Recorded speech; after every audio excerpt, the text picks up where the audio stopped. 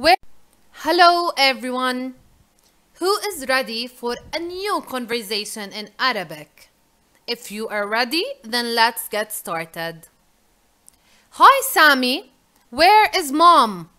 مرحبا سامي, أين أمي? She is in the kitchen. في المطبخ. Okay, and what are you doing? حسنا, ماذا تفعل؟ I am watching TV. Do you want to accompany me to the dentist today? أشاهد التلفاز. هل تريد أن ترافقني إلى طبيب الأسنان اليوم؟ I don't think that I would be able to go with you. لا أظن بأنني أستطيع الذهاب معك. Oh, mom has something to do. I have no one to drop me there.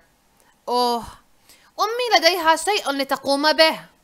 لا يوجد أحد يستطيع أن يوصلني هناك. Oh, let me see mom. Oh, دعني أرى أمي. That's it for today.